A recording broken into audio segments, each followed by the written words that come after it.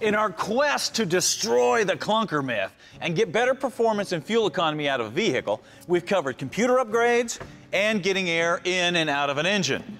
What we haven't covered is the fire that actually happens inside the engine that burns that air fuel mixture. Now, obviously, the more efficiently we can do that, the more power and economy we get out of every drop of fuel. That is where spark plugs come in. Now, in the endless sea of spark plugs out there, you've got a lot of choices and a lot of claims being made. So it's kind of hard to know what's real and what's hype. But there is one spark plug that seems to keep rising to the top of the pile and getting everybody's attention. And it's the E3 plug with its unique electrode design. Let's take a look at it. By basically building an electrode with a diamond-shaped hole in the center, you put the flame right in the combustion chamber where it needs to be instead of partially shrouding it like a traditional plug does. Now, that's all great in theory, but do they actually work that way? That's what we're going to find out. Now, what I've got here is a very simple test machine that utilizes a coil with two outlets, and it's going to allow us to compare two spark plugs head to head.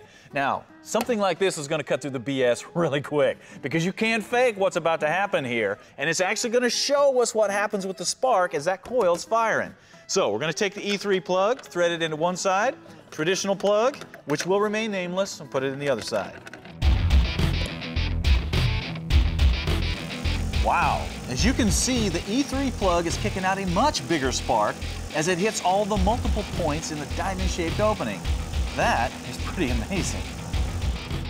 But to really see what that spark turns into inside of a combustion chamber, here is some actual time-lapse photography of the firing of an E3 plug and a conventional plug in a cylinder. The difference is unmistakable. Who'd have thought that you could get that big of a difference out of a simple spark plug design? And replacing the spark plugs in your vehicle, that's something anybody can do.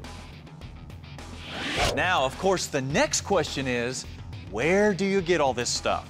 Well, we already said that you could get the Bully Dog GT tuner at drivinghard.com. The rest of the stuff you can get from Stylin' Trucks.